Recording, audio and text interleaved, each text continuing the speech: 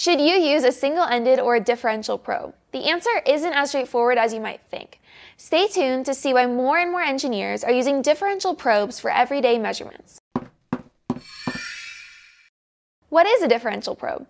It's a probe specifically designed to make differential measurements. Why would you want to use a differential probe? The obvious answer is to measure differential signals. High-speed digital designers certainly have a differential probe or two on their bench, but there's a good chance every digital design engineer could benefit from a differential probe. Let's start with some fundamentals. What exactly is a differential measurement? A differential measurement is simply measuring the voltage difference between two points. If you think about it, really all voltage measurements are differential measurements. It's important to understand that some measurement tools like this DMM make floating measurements, so you can use these two probes to measure any two points on your board. But oscilloscopes are not floating. They are inherently ground referenced, so they force you to make measurements with respect to ground. So then how do you make a differential measurement with a scope? There's two options.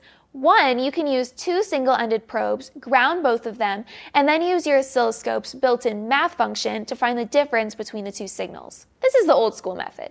It works in a pinch, but you lose accuracy. The second option is to use a differential probe. More and more engineers are turning to differential probes. They may cost more upfront, but this quickly pays off with greater accuracy and ease of use. Let's look at an example. I've got a test board here with a USB device plugged in. Let's see how we can use those two methods to measure the differential USB signal on this board. First, let's use the old school method. Two single-ended probes, each connected to one signal and then grounded. Now you can see on screen that we have one of the signals on channel 1 and the other on channel 2. Now we can set up a math function subtraction to find the difference between these two signals. So we can see that the purple trace here in the middle is channel 1 minus channel 2. So I'm going to save it as a reference waveform real quick so we can compare it to our differential probe. I've unplugged the two single-ended probes from channel 1 and 2 and plugged in our differential probe into channel 1.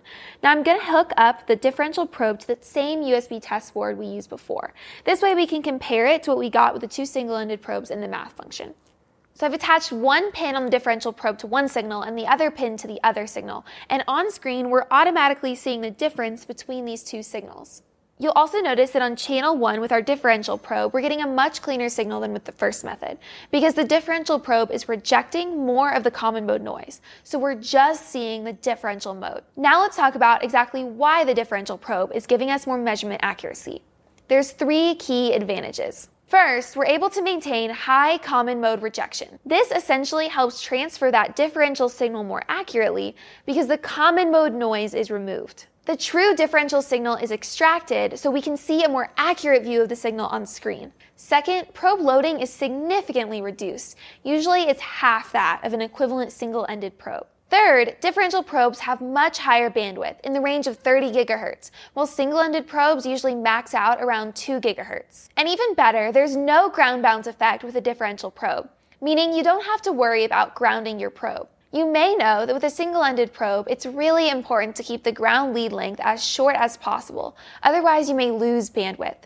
But this is really challenging in practice, and is one of the reasons why engineers are turning to differential probes because there's no grounding required. The main disadvantage of a differential probe is cost. They are generally going to run more than single-ended probes. But the thing to keep in mind here is with a higher cost, you're getting a significant performance advantage for measuring differential signals. But you can also measure single-ended signals with your differential probe. Simply connect one probe lead to your signal and one to ground, and you can take advantage of that performance boost of your differential probe. Regardless of the type of signal you're measuring, differential probes are great to keep in mind if you're looking for increased performance and ease of use. Instead of just using differential probes for specialized testing, it's helpful to think of differential probes as a general purpose tool that will be helpful for whatever testing you're doing in your lab. To learn more about oscilloscope probing, download the free probe training kit that's linked in the description and subscribe to our YouTube channel. I'm Ally with Keysight Technologies, and I'll see you next time.